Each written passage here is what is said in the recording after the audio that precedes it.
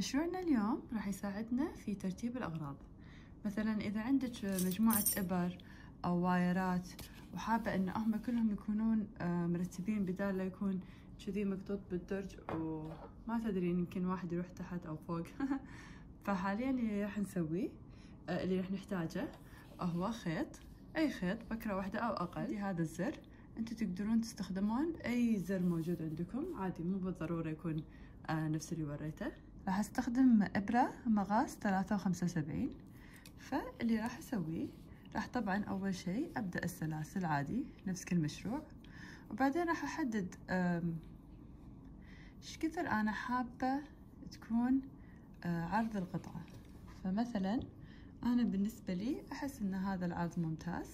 فبعدين راح أبدأ أسوي single crochet فراح أكمل أسوي single crochet طبعا أنتم مو بالضرورة تلتزمون. بس حسب أنتم إيش كثر آه، حابين تسوون آه، العرض. والحين إحنا قاعد نشتغل على الطول. راح أسوي سنجل كروشيه لمدة عشر أسطر في كل الغرز بس راح أسويهم single عادي.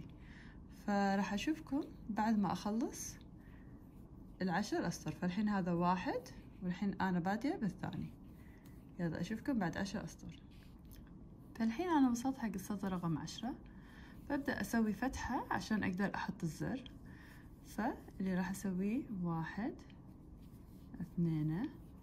فأنا قررت إن هني هذيل المكانين هما مكان الزر. فراح أسوي سلسلتين راح أطوف غرزتين وبعدين راح أسوي آه single مرة ثانية. هذا راح يكون مكان الزر. فحاليا الحين راح أسوي سلسلة ارتفاع. وراح أشتغل عادي single على كل غرزة. طبعا هني هذيل الحشوتين سنجلين وهني بهالفتحة لأن سويت سلسلتين. راح أسوي اثنين single وبعدين هني واحد وهذا هني الثاني. طبعا كذا صار في فتحة. وطبعا يفضل إني أتأكد إنه آه، يدخل داخلها. طبعا أنا بالنسبة لي يدخل. وأنا ابي يكون حده حده على أساس لما أدخله يكون ماسك.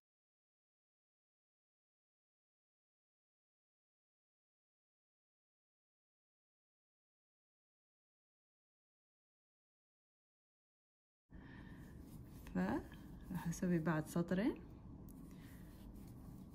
راح أسوي امشي لكم اياه بالسريع عشان ما تملون.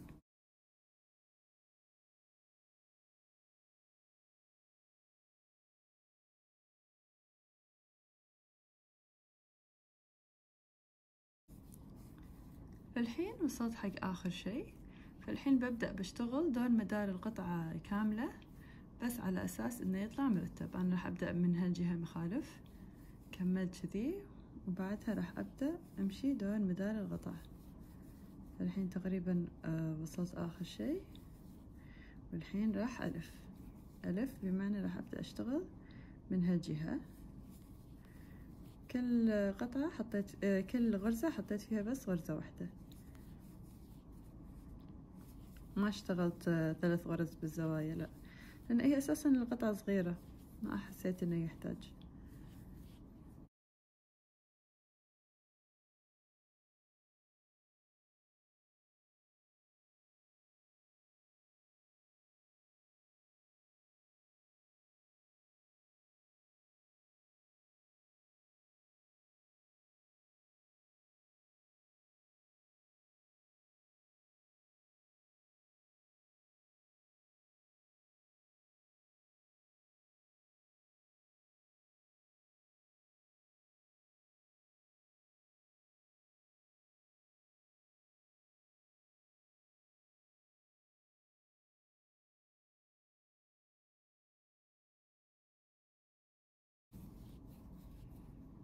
الحين وصلت حق آخر شي سويت طبعا المنزلقة والحين راح أقص الخيط وأنظف الأطراف.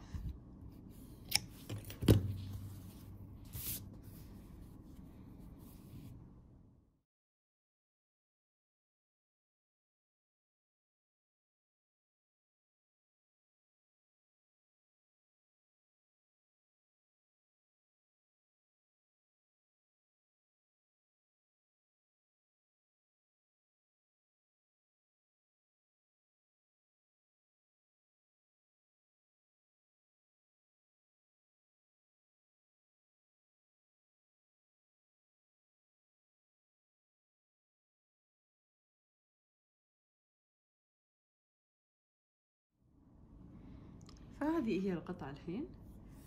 هوريكم شلون راح أستخدمه. على أساس أرتب الشغل. فهذا الواير أنا بس فته آخذ هذه القطعة هني. وراح اصك السهم بس هذه هي الطريقة. طبعا الحين صار وايد أرتب. تقدرون أنتم تستخدمونه مو بالضرورة بس حق الوايرات تقدرون تستخدمونه حق الإبر. وهذه هي الطريقة شلون لفيت الإبر فيه. تقدرون يعني أي شي تحسون يحتاج كذي ترتيب تسوون من هذيل القطع وايد حلوين ومرتبين. أي قطعة تحتاج أي شي تحسون يحتاجون ترتيب تقدرون تسوون هالقطع يطلعون وايد مرتبين. وطبعا تقدرون تزيدون عدد الأسطر حسب إيش كثر أغراض تبون تحطون آه، داخله. إن شاء الله استمتعتوا بفيديو اليوم. لا تنسون ال like وال subscribe. شكرا لمتابعتكم.